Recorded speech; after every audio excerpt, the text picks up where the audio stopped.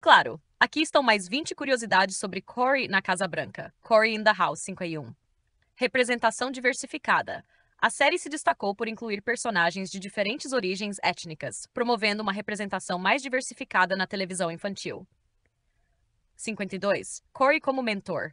Em muitos episódios, Corey assumia o papel de mentor para Sophie e seus amigos, mostrando seu crescimento e responsabilidade. 53. Conflitos de adolescente. A série abordava conflitos típicos da adolescência, como inseguranças e rivalidades de maneira leve e humorística. 54. Amizade com o pessoal da Casa Branca. Corey desenvolveu amizade com alguns membros do pessoal da Casa Branca, como a cozinheira e o segurança, que acrescentaram mais humor à trama. 55. Episódios baseados em festivais. A série frequentemente apresentava episódios que se baseavam em festivais e feriados, como o Natal e o Dia de Ação de Graças, trazendo um clima festivo. 56. Interesse romântico. O interesse romântico de Corey era uma parte importante da trama, criando momentos divertidos e embaraçosos. 57. Humor familiar. A série se destacou pelo seu humor familiar, abordando temas que eram apropriados e engraçados para todas as idades.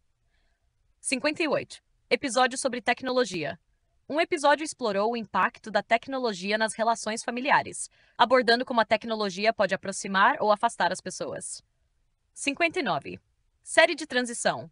Corey na Casa Branca serviu como uma transição para muitos jovens que cresciam assistindo Disney, ajudando a manter o interesse deles na programação. 60. Estreia em 2007. A série estreou em 2007 e rapidamente ganhou popularidade entre o público jovem. 61. Novo tema musical.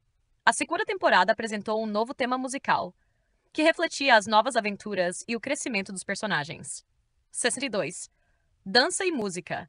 O show frequentemente incluía números de dança e música, permitindo que os atores mostrassem suas habilidades artísticas.